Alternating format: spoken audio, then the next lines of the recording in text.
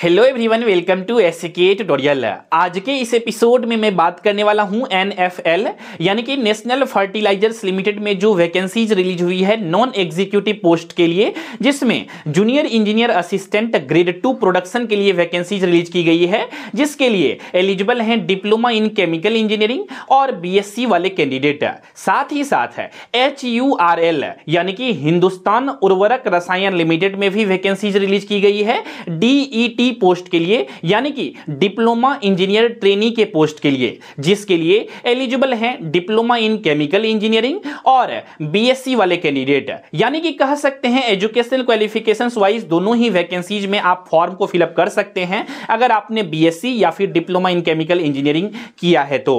तो ये एक अच्छा खासा अपॉर्चुनिटी है, जिन्होंने भी बीएससी या फिर डिप्लोमा इन केमिकल इंजीनियरिंग किया है। लेकिन फॉर्म फिलअप करने के बाद बेसिकली मन में प्रश्न आती है कि इस एग्जामिनेशन क्वेश्चंस का प्रिपरेशन कैसे करें?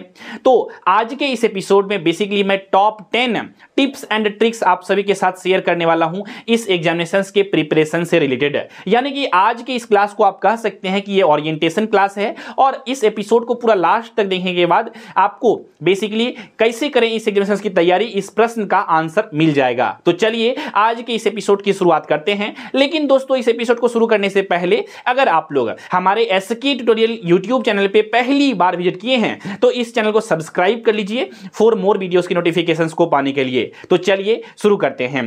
दोस्तों, अगर बेसिकली आप लोग जुड़ना चाहते हैं हमारे साथ और अच्छे से प्रिपरेशन करना चाहते हैं पेड बैच की तलाश में हैं तो आप लोग जुड़ सकते हैं हमारे साथ एस के ट्यूटोरियल ऐप पर। सिंपल में गूगल प्ले स्टोर से एस के ट्यूटोरियल ऐप को डाउनलोड करना है। आपको बेसिकली बैच में इनरोलमेंट लेने के लिए ऐप में लॉगिन करके बैच में इनरोलमेंट ले सकते हैं केमिकल इंजीनियरिंग वाले और बीएससी वाले कैंडिडेट के लिए दोनों के लिए एक ही बैच बनाई गई है। क्यों बनाई गई है एक ही बैच इसके बारे में हम लोग विस्तार से चर्चा करेंगे आगे वीडियोज़ में। और अधिक जानकारी के लिए किसी भी तरह का हेल्प चाहिए एडमिशन से रिलेटेड आपको जानकारी चाहिए तो आप लोग जो है हमारे इस एडमिशन हेल्पलाइन नंबर पे कॉल करके जानकारी ले सकते हैं। हमारी टीम बेसिकली आपको अच्छे से गाइड कर देगी एडमिशन प्रोसेस के बारे में और इनरोलमेंट लेने के बारे में। तो चलिए आज के इस एपिसोड की अब शुरुआत करते हैं। दोस्तों, पहला पॉइंट की अगर मैं बात करूँ तो आपको जो है इस एग्जामिनेशन के पैटर्न को समझना होगा। तो यहाँ पर बात करते हैं अलग अलग करके और दोनों को पैरेलली लेके चलेंगे एच यू आर एल और एनएफएल को। दोस्तों, जैसा कि आप लोग जानते हैं एन एफ़ एनएफएल और एच यू आर एल दोनों ही एग्जामिनेशन के एग्ज़ाम पैटर्न सेम है। सिलेबस भी ऑलमोस्ट सेम है।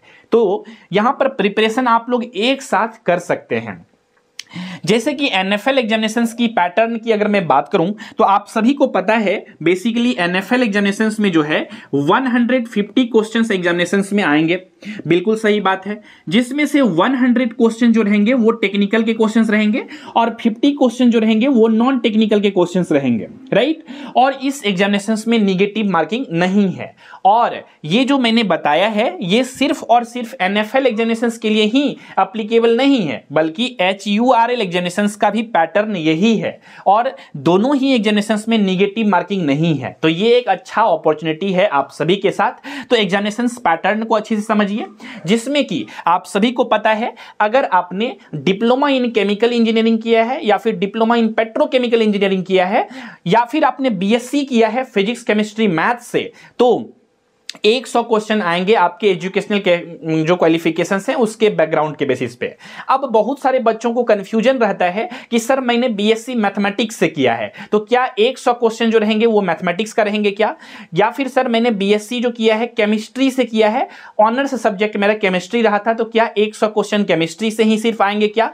या फिर मुझे फिजिक्स केमिस्ट्री मैथ तीनों पढ़ने होंगे? तो इस प्रश्न का भी आंसर मैं डिटेल में अभी दे देता हूँ, क्योंकि ये वीडियो स्पेशली बीएससी वाले कैंडिडेट के लिए मैं मैं बनाने के लिए रिकॉर्ड कर रहा हूँ, ताकि सभी बच्चों को अच्छे से समझ में आ सके। तो देखिए दोस्तों बेसिकली ये चीज़ें नोटिफिकेशंस में ना ही एनएफएल और ना ही एच यू आर एल की नोटिफिकेशंस में क्लियरिटी दी गई है। लेकिन एज पर माय एक्सपीरियंस और अलग अलग एग्जामिनेशंस में इस तरह के जब नोटिफिकेशंस आते हैं तो आमतौर पे क्वेश्चन जो फ्रेम किए जाते हैं, वो बीएससी वालों के लिए अलग और केमिकल इंजीनियरिंग वालों के लिए अलग। लेकिन कभी कभी ऐसा भी हुआ है कि ये लोग यूनिवर्सल पेपर रेडी कर देते हैं, यानी कि जनरलाइज्ड पेपर है ऐसा क्वेश्चन रेडी करते हैं जो कि बीएससी वाले भी आंसर दे सके और डिप्लोमा इन केमिकल इंजीनियरिंग वाले कैंडिडेट भी आंसर दे सकें। तो इसीलिए आपको दोनों तरह से तैयार रहनी चाहिए। तो ये सब चीज़ों के बारे में मैं बैच के अंदर में डिटेल में बातें करूँगा ही, लेकिन इन जनरल आपको जो है सिलेबस पढ़नी चाहिए केमिस्ट्री वाला सिलेबस को ज़्यादा फोकस करनी चाहिए। हमने एक वीडियोस को बनाया था बीएससी वाला, जिसमें हमने बताया था केमिस्ट्री के सिलेबस को खास तौर पे।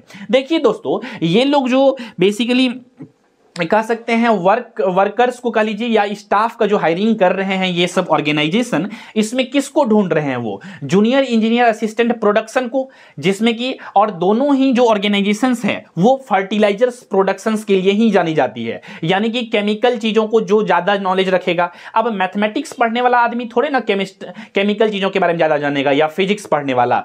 तो वहाँ पर केमिस्ट्री का ज़्यादा एडवांटेज मिल जाता है। यानी कि आपको एग्जामिनेशन में केमिस्ट्री से क्वेश्चन ज़्यादा मिलेंगे। यानी कि अगर आपका बीएससी में केमिस्ट्री ऑनर्स रहा है तो आपको एडवांटेज ज़्यादा अच्छे से मिलेंगे इस एग्जामिनेशन को देने वक्त।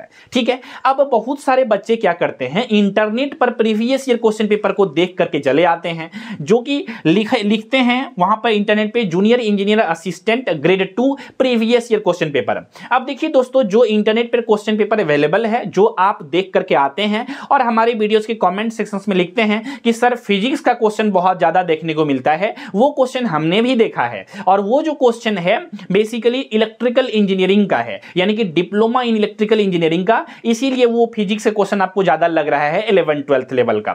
तो यहाँ पर बेसिकली हमने जो इंटरनेट पे खोजने की कोशिश की है junior engineer assistant grade two production के पोस्ट के लिए या फिर केमिकल इंजीनियरिंग पोस्ट के लिए या बीएससी लेवल का जो वैकेंसी जाती है, इसके प्रीवियस ईयर क्वेश्चन पेपर हमें इंटरनेट पर कहीं पर भी ऑथेंटिक और ओरिजिनल क्वेश्चंस देखने को नहीं मिले। तो इसीलिए ज़्यादा आप सभी को भटकना नहीं है प्रीवियस ईयर क्वेश्चन पेपर, जो सो देख करके, और उसी को बेसिकली सही मान लेना है।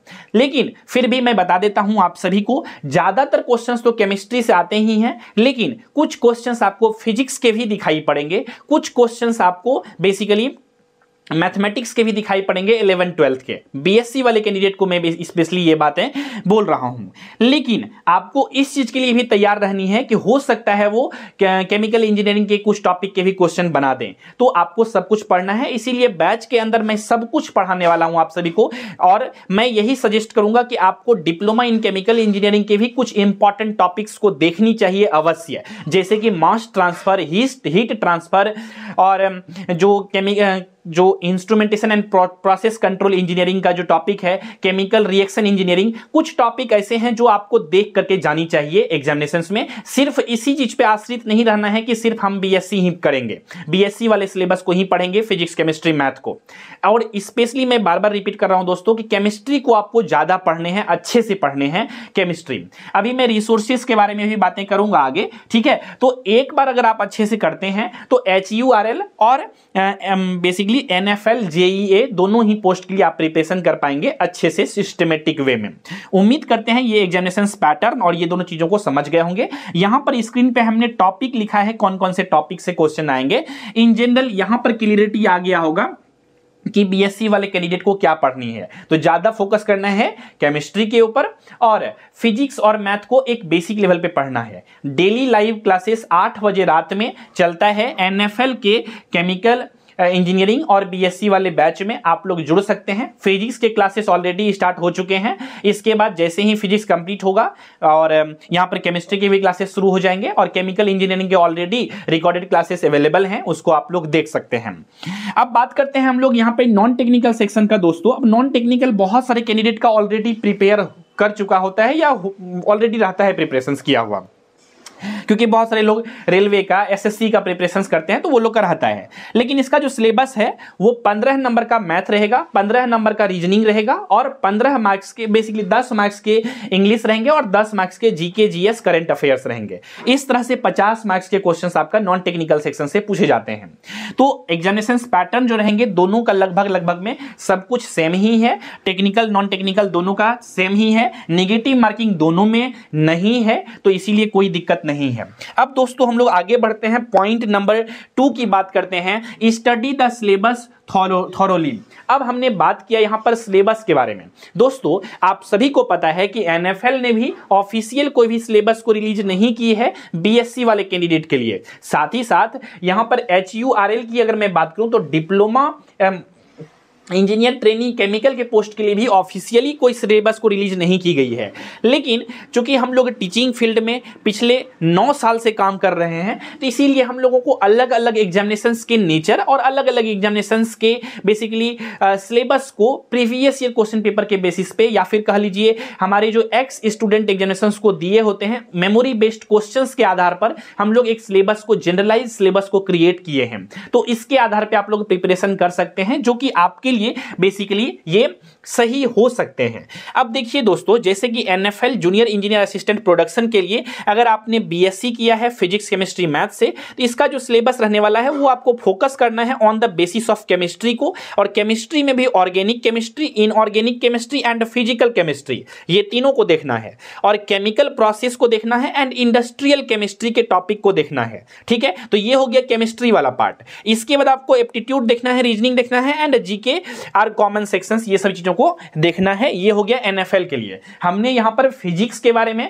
और बेसिक मैथ्स के बारे में चर्चा नहीं करी है, क्योंकि क्वेश्चन जो है मैथ्स के और नॉर्मल फिजिक्स के क्वेश्चंस कम देखने को मिलेंगे, ठीक है? तो इस चीज़ को आप लोग यकीनन बिलीव कर सकते हैं, क्योंकि आप ये मानिए कि एनएफएल किसको हायर कर रहा है? जूनियर इंजीनियर असिस्टेंट प्रोडक्शन के लिए, ना कि बेसिकली फिजिक्स का इंफॉर्मेशन ज़्यादा रहे उसको केमिकल वालों को ज़्यादा प्रीफर करेंगे। इसीलिए केमिस्ट्री के ज़्यादा क्वेश्चन आएँगे तो ये सब टॉपिक को अच्छे से देखनी है।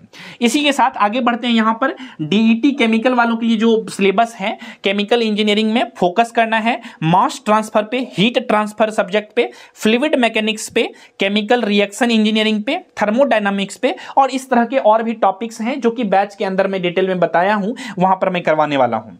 टिप क्या है आप सभी के लिए यहाँ पर कि स्टार्ट करना है अपना प्रिपरेशन को अच्छे से। और सब्जेक्ट को अच्छे से स्ट्रॉन्ग करनी है। हर एक सब्जेक्ट को अगर कॉन्सेप्चुअल क्लियरिटी के साथ समझेंगे और मैं important questions important MCQ questions practice करवाने वाला हूँ, सभी कुछ एक एक टॉपिक जब खत्म होंगे तो उस टॉपिक से रिलेटेड अलग अलग एग्जामिनेशन के प्रीवियस ईयर क्वेश्चन पेपर को भी मैं आप सभी के साथ करवाने वाला हूँ। तो ओवरऑल प्रिपरेशन के लिए आप लोगों के पास अच्छा अपॉर्चुनिटी है। अगर आपका डिप्लोमा इन केमिकल इंजीनियरिंग है या फिर आपका बीएससी है पीसीएम से तो आप लोग जुड़ सकते हैं। बहुत ही बेसिक से बेसिकली मैं क्लासेस को शुरू किया हूँ। अभी फिजिक्स के ऑलरेडी क्लासेस चल रहे हैं रिकॉर्डेड क्लासेस अपलोड हो रहे हैं। उसको आप लोग अच्छे से देखिए फिजिक्स प्रिपरेशन हो जाएगा। वो एक तरह से कह सकते हैं जनरल साइंस के तरह काम करेगा।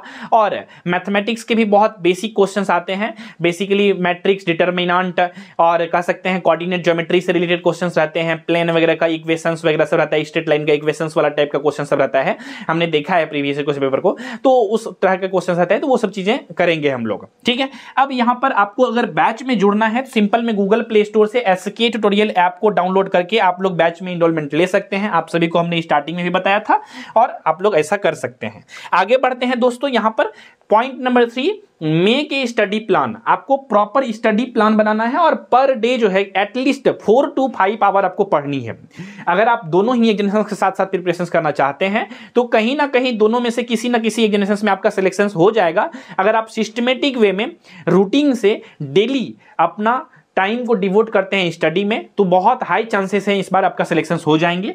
और इस एग्जामिनेशन में दोस्तों, चूँकि निगेटिव मार्किंग नहीं है तो और भी ज़्यादा अच्छा है कि अगर आप कोई क्वेश्चन में चाहें तुक्का लगाने के लिए तो लगाएँगे तो आपको नुकसान नहीं होंगे ठीक है? तो बेसिकली ये भी एक अच्छा अपॉर्चुनिटी है। टिप क्या है यहाँ पर? प्रिपेयर करना है डेली स्केड्यूल को। That includes both subject knowledge and aptitude test आपको खुद से स्केड्यूल बनाना है डेली का प्लान बनाना है और आ, उसमें बांटना है पर डे को। कि इतना देर मैं टेक्निकल सेक्शंस को पढ़ूँगा और इतना देर मैं नॉन टेक्निकल सेक्शंस को पढ़ूँगा और डेली प्रैक्टिस करना है, ठीक है? तो ये चार से पाँच घंटा जो हमने बोला है पढ़ने के लिए, इसको आप लोग अपने हिसाब से बांट सकते हैं कि कितना देर आपको टेक्निकल पढ़ना है, कितना देर नॉन टेक्निकल पढ़ना है। अगर ज़रूरत होगी तो इसके ऊपर भी मैं एक अलग से सेपरेट वीडियोस बना दूँगा।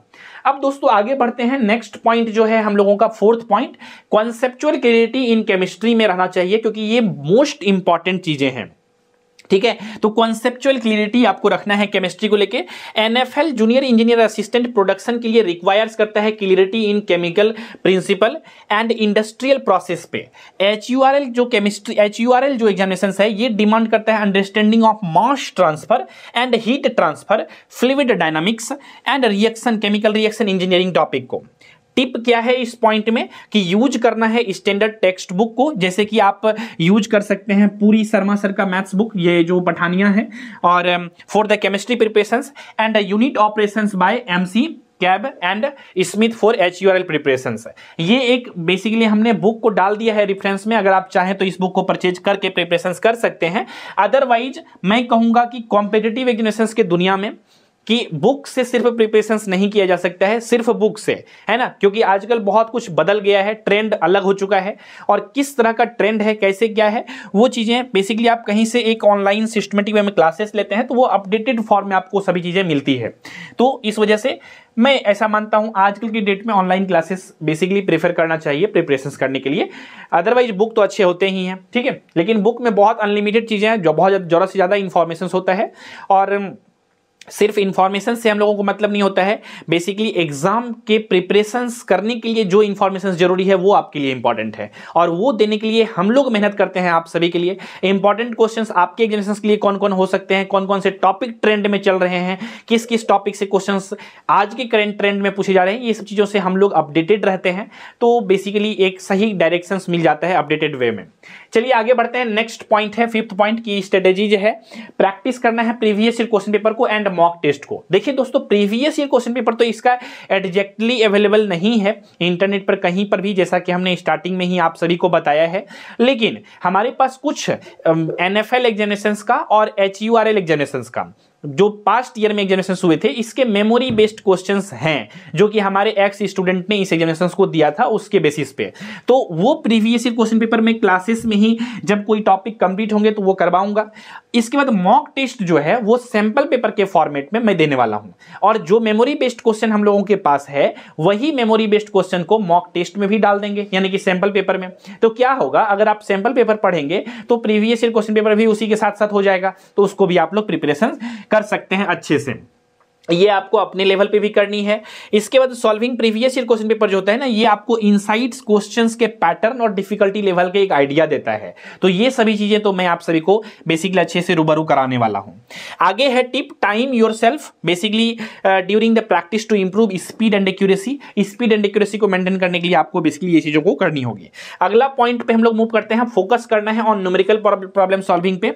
न्यूमेरिकल प्रॉब्लम सॉल्विंग पे ज़्यादा। जैसे कि सेटिंग क्लियर एक्सपेक्ट एक्सपेक्टेशन आपका जैसे आप टेस्ट देते हैं या फिर मॉक टेस्ट देंगे तो आपका क्लियरिटी होना चाहिए कि इतना मार्क्स हमको लाना है। क्या क्या कमी आ रहा है? टेस्ट जब दे रहे हैं तो both the examination H U R L और एन एफ़ एल दोनों ही एग्जामिनेशन में प्रॉब्लम सॉल्विंग स्किल्स बहुत इंपॉर्टेंट रोल प्ले करेगा specially in topics like thermodynamics fluid mechanics and chemical calculation में।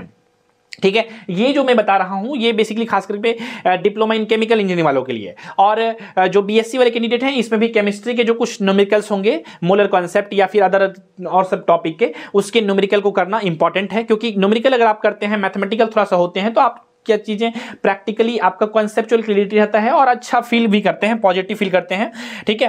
प्रोवाइडिंग कंस्ट्रक्टिव फीडबैक आपको बेसिकली देखना है कि कहाँ कहाँ पे आपका वीकनेस है, किस किस टॉपिक में बेसिकली आप स्टक कर जा रहे हैं, किस टॉपिक के क्वेश्चन आपसे नहीं बन रहे हैं, ये सभी चीज़ों को आपको देखनी है। ठीक है? नेक्स्ट पॉइंट हम लोग देखते हैं यहाँ पर। प्रिपेयर करना है for general awareness general awareness की प्रिपरेशन ये नॉन टेक्निकल सेक्शन का पार्ट है। दोनों ही एग्जामिनेशन में basically current affairs general knowledge and static GK के क्वेश्चंस आते हैं। तो इसीलिए ये इस, इस पार्ट को भी नेग्लेक्ट नहीं करना है। इसको भी ध्यान से देखनी है। इसके बाद टिप्स एंड सजेशन है कि स्टे अपडेटेड रहना है आपको करंट इवेंट से। करंट यहाँ पर है events related India to India the chemical industry and global trends in science and technology यानी कि केमिकल इंडस्ट्री में भी कुछ बदलाव हुए हैं कुछ नए करंट अफेयर्स में कुछ इवेंट हुए हैं तो बेसिकली uh, उसके बारे में भी अपडेटेड रहनी है क्योंकि उससे रिलेटेड भी क्वेश्चन आ सकते हैं क्योंकि ये दोनों ही कंपनी जो है फर्टिलाइजर्स प्रोडक्शन कंपनी कह सकते हैं है या यूनिट है जो भी कह सकते हैं इसको।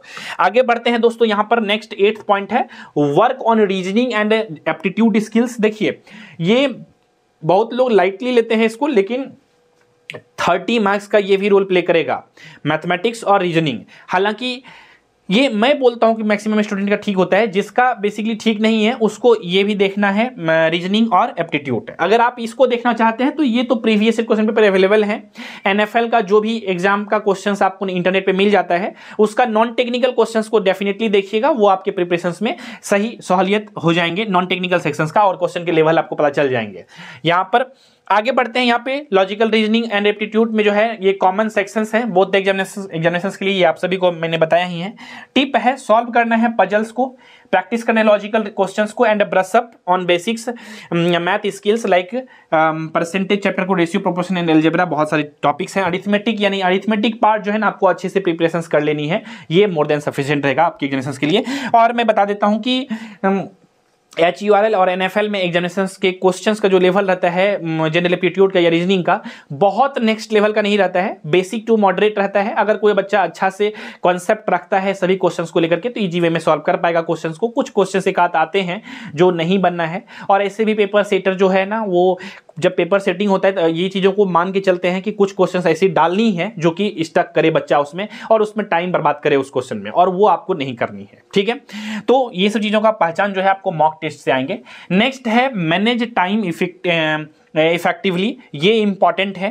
Time management during the examination is crucial as you need to balance between aptitude reasoning and technical sections ये चीज़ों को आपको बैलेंस करना होगा और ये चीज़ों को बैलेंस करने का प्रैक्टिस आपको आएँगे जब आप मॉक टेस्ट को लगाएँगे। तो मॉक टेस्ट भी इंपॉर्टेंट है, इसको आप ध्यान दीजिएगा। मॉक टेस्ट हम लोग अभी प्रॉमिस नहीं कर रहे हैं प्रोवाइड करेंगे, लेकिन हम लोग प्लान बना रहे हैं। बहुत जल्द ही अगर सब कुछ ठीक ठाक रहा तो मॉक टेस्ट भी आप लोगों को प्रोवाइड करेंगे।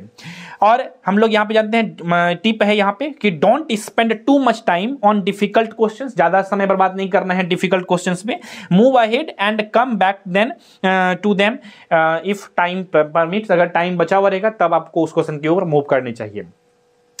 अब दोस्तों, आप सभी की जानकारी के लिए मैं बता देता हूँ कि यहाँ पर जो है basically H U R L examination जो है, इस बार ऑनलाइन होने जा रहे हैं। एच यू आर एल यानी कि हिंदुस्तान उर्वरक रसायन लिमिटेड, ये सीबीटी एग्जामिनेशन होंगे।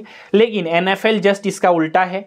एनएफएल में जो एग्जामिनेशन होंगे, वो होंगे ओ एम आर बेस्ड यानी कि ऑफलाइन एग्जामिनेशन होंगे। 2021 में जब वैकेंसीज आई थी एनएफएल का तो उस वक्त जो है, यानी कि उस साल एग्जामिनेशन इसके ऑनलाइन हुए थे कंप्यूटर बेस्ड टेस्ट हुए थे एनएफएल का। नॉन एग्जीक्यूटिव पोस्ट के लिए। लेकिन इस बार ऑफलाइन हो रहे हैं और एच यू आर एल के सीबीटी ही होंगे ऑनलाइन एग्जामिनेशन होंगे। एग्जामिनेशन पैटर्न निगेटिव मार्किंग सब कुछ सेम ही है, ठीक है? चलिए आगे बढ़ते हैं दोस्तों। अगला जो है बेसिकली यहाँ पर टेंथ और लास्ट पॉइंट है और मैं मानता हूँ कि ये पॉइंट जो है सबसे ज़्यादा इंपॉर्टेंट पॉइंट है। आपको रिवाइज करना है रेगुलरली और अपने प्रोग्रेस को ज़रूर एनालाइज कर एनालाइज करना है कि क्या प्रोग्रेस आप में दिखा। पहला बार टेस्ट दिए 67 परसेंट आया, फिर देखिए क्या प्रोग्रेस आ रहा है कि नहीं आ रहा है 75 परसेंट एट्टी परसेंट तो प्रोग्रेस लाने पर भी फोकस करना है आपको। रिज़ल्ट ओरिएंटेड स्टडी करनी है, ना कि नॉलेज ओरिएंटेड नॉलेज बाद में आप गेन कर लीजिएगा अच्छे से। रियलिटी ये है कि आप अगर नौकरी ले लेंगे तो फिर नॉलेज उतना मैटर नहीं करता है। पहले नौकरी लेना इंपॉर्टेंट है। नौकरी लेने के लिए आपको क्या करना पड़ेगा? सिस्टमेटिक वे में चीज़ों को उतना ज़रूर पढ़िए जितना एग्जामिनेशन को क्वालिफाई करने के लिए रिक्वायर्ड है। बाद में ज्ञानी और पीएचडी बन सकते हैं, कि कर सकते हैं किसी भी पार्टिकुलर टॉपिक में। ठीक है दोस्तों? यहाँ पर हमने साइड में लिख दिया है पर मंथ वाइज आप प्लान बना सकते हैं। ये अपने अकॉर्डिंगली आप मॉडिफाई कर सकते हैं। फ़र्स्ट मंथ में आपको क्या क्या पढ़ना है? कोर केमिस्ट्री के टॉपिक्स पढ़ सकते हैं आप लोग। यहाँ पर ऑर्गेनिक इनऑर्गेनिक केमिस्ट्री को फ़िज़िकल केमिस्ट्री को केमिकल प्रोसेस को इंडस्ट्रियल केमिस्ट्री को। सेकेंड मंथ में आप लोग general aptitude logical reasoning quantitative aptitude English ये चीज़ों को पढ़ सकते हैं। थर्ड मंथ में जनरल अवेयरनेस करंट अफेयर्स और स्टेटिक जीके अब यहाँ पे तीन मंथ का हमने प्लान दिया है। अब ज़रूरी तो नहीं है तीन मंथ तक एग्जामिनेशन ही नहीं हो। हो सकता है एग्जामिनेशन पैंतालीस दिन के बाद, यानी कि फोर्टी फाइव डेज़ के बाद ही हो जाए। है कि नहीं है? तो आप अपने अकॉर्डिंगली एक स्मार्ट स्ट्रेटेजी प्लान बनाइए। मैं ऐसा मान के चल रहा हूँ कि 45 डेज़ मतलब थ्री मंथ का टाइम मिल जाए तो अच्छे से आप लोग प्रिपरेशन कर पाएँगे, ठीक है? तो सिस्टमेटिक वे में प्रिपरेशन करने के लिए समय कम है। अच्छे से जब सिलेबस आपका कंप्लीट हो जाएगा तो आपको रिविजन करने का जब टाइम मिलेगा प्रॉपर वे में जब रिविजन करेंगे प्रॉपर वे में तो आपके लिए वो ज़्यादा अच्छे रहेंगे, फ़ायदेमंद रहेंगे। उम्मीद करते हैं दोस्तों, ये सभी चीज़ें समझ में आ गया होगा। यहाँ पर जो है हमने पॉइंट वाइज जो है पॉइंट में लिख दिया है H U R L D T chemical engineering के सिलेबस सिलेबस को हमने यहाँ पर डिटेल में लिख दिया है। इसका चाहे तो आप लोग स्क्रीन ले सकते हैं। इसी के साथ जो है यहाँ पर हमने पॉइंट टू में कहा है कि ये सभी जो पॉइंट जितना भी हमने स्ट्रेटेजी और पॉइंट को बताया है, इस सभी चीज़ों को अगर आप लोग बढ़िया से फोकस करते हैं, अपनी स्ट्रेंथ को देखते हुए तो बेसिकली आप मैक्सिमाइज कर सकते हैं अपने चांसेस को सफलता के लिए सक्सेस के लिए in both the examination H U R L और N F L G junior engineer assistant दोनों ही पोस्ट के लिए। उम्मीद करते हैं दोस्तों, ये एपिसोड आपको पसंद आया होगा। तो अब समय आ चुका है बेसिकली आप सभी को, अगर किसी भी तरह का डाउट है क्वेश्चन है कंफ्यूजन है तो आप लोग जो है इस वीडियोज़ के कमेंट सेक्शंस में अपना सजेशंस को क्वेश्चंस को लिख करके भेज सकते हैं। मुझे आपका कमेंट का सदैव इंतज़ार रहता है और आप सभी को कोई सजेशन देनी है तो वो भी दे सकते हैं। अगर कुछ इंप्रूवमेंट की ज़रूरत होगी तो डेफिनेटली मैं इंप्रूव करने की कोशिश करूँगा। चलिए दोस्तों, आगे बढ़ते हैं हम लोग। अगला जो है बेसिकली यहाँ पर आप सभी को इस वीडियोज़ को देखने के लिए बहुत बहुत धन्यवाद। थैंक यू सो मच और लास्ट में मैं यही कहूँगा बैच जो है HURL और NFL दोनों के लिए स्टार्ट हो चुकी है। और बैच में ज्वाइन होने के लिए सिंपल में गूगल प्ले स्टोर से एस के ट्यूटोरियल ऐप को डाउनलोड करना है और बैच में इनरोलमेंट ले सकते हैं। तो उम्मीद करते हैं दोस्तों, ये वीडियो आप सभी को पसंद आई होगी। अगर किसी भी तरह का डाउट क्वेश्चन कन्फ्यूज़न है तो आप लोग चैट सेक्शंस में कमेंट सेक्शंस में लेकर के पूछ सकते हैं। तो इसी विचार के साथ रखते हैं आज के इस एपिसोड में, बस इतना ही। मिलेंगे बहुत जल्द ही अगले एपिसोड में। तब तक नमस्कार, जय हिंद, वंदे मातरम।